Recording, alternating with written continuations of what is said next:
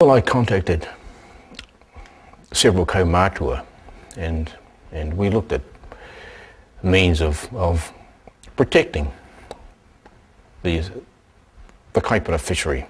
And we talked about rahui and through explanations of what rahui were I completed more research into that. And the more I looked at it I realised that rahui was that management tool to which Māori from the kaipara had completely forgotten about and that since 1877 when the first Fisheries Act was first put together the Crown have been making one law after another law in terms of management regimes over resources. And so that Māori management regime, such as Rahui, got put to the side.